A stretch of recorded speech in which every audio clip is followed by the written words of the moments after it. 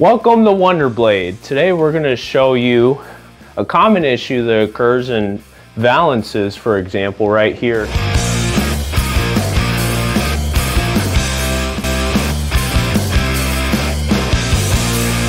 Here looks like the previous installers installed them incorrectly and it's mainly because there is no room to install it correctly.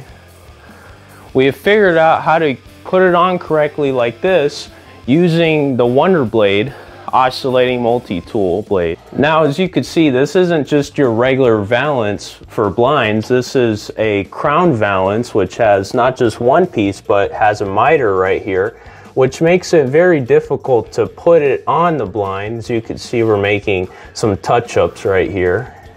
As you could see right here it's very difficult to try to take off a crown valance off of this top of the window blind here.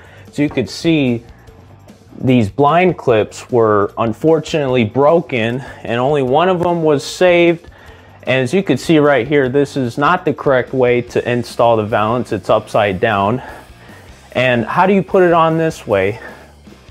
It's very difficult to do so because they don't exactly fit and you could break your blind clips. The solution to that is to trim it down a little bit and the best way to do that is not with a saw or a reciprocating saw but with an oscillating multi-tool with the WonderBlade.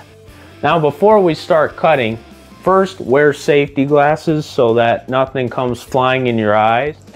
Now when cutting especially something delicate like a valance blind or a crown valance, you don't want to put it at a high, high speed with your oscillating multi-tool. You want to put it on a low, low speed. This one, for example, is on a 2. And here we're going to be using our multi-tool right here. This right here is our high-strength oscillating multi-tool blade, which could be used for cutting screws, nails, sheetrock, Hardie siding, and much more.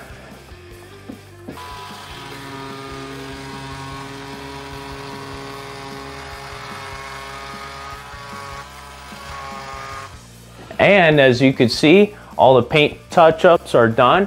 Finally, the last thing to do is to put on your crown valance right here, which we've cut it down a little bit so it could fit perfectly, which is what you need to do. And we're just gonna hook on the clips right here.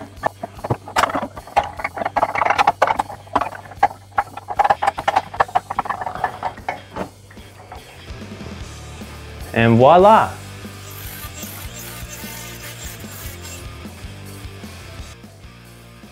Don't forget to like, comment, and share this video and also subscribe to our YouTube channel to stay up to date with the latest oscillating multi-tool tips and tricks, the best in the industry.